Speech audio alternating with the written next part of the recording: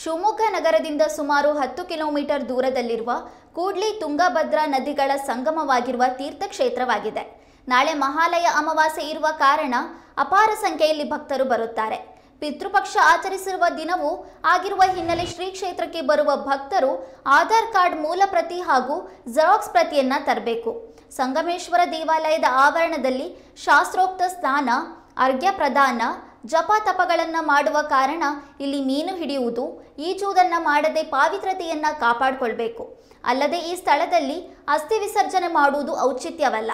ತಮ್ಮ ಪುರೋಹಿತರ ಮಾರ್ಗದರ್ಶನದಂತೆ ದೇವಸ್ಥಾನದ ಆವರಣದಲ್ಲಿ ಅಸ್ಥಿ ವಿಸರ್ಜನೆಗೆ ಅವಕಾಶವಿದೆ. ಭಕ್ತಾದಿಗಳು ಭಕ್ತಾದಿಗಳು ಸಹಕರಿಸುವಂತೆ ಸಾಮಾಜಿಕ ಕಾರ್ಯಕರ್ತರಾದ ನಾರಾಯಣಸ್ವಾಮಿ ಬಿಎಸ್ ಮನವಿ ಮಾಡಿದ್ದಾರೆ.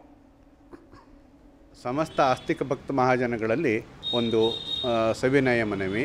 ಈ ಶಿವಮೊಗ್ಗ ನಗರದಿಂದ ಕೇವಲ ಹತ್ತು ಕಿಲೋಮೀಟರ್ ದೂರದಲ್ಲಿ ತುಂಗಾ ಮತ್ತು ಭದ್ರಾ ಮಹಾನದಿಗಳು ಸಂಗಮವಾಗತಕ್ಕಂತಹ ಒಂದು ದಕ್ಷಿಣ ಕಾಶಿ ಎಂದು ಪ್ರಸಿದ್ಧವಾಗಿರತಕ್ಕಂತಹ ಕೂಡಲಿ ಕ್ಷೇತ್ರ. ವಿಶೇಷವಾಗಿ ಅನೇಕ ಜನ ಭಕ್ತಾದಿಗಳು ನಾಳೆ ದಿನ ಆರನೇ ತಾರೀಕು ವರ್ಷದ ಒಂದು ಅಂತಿಮವಾದಂಥ ವಿಶೇಷವಾಗಿ ಈಗಾಗಲೇ ಒಂದು ಹದಿನೈದು ದಿವಸದಿಂದ ನಡೀತಕ್ಕಂಥದ್ದು ನಾಳೆ ದಿನ ಅಂತಿಮವಾಗ್ತದೆ. ಅನ್ನ ಅಂತರ್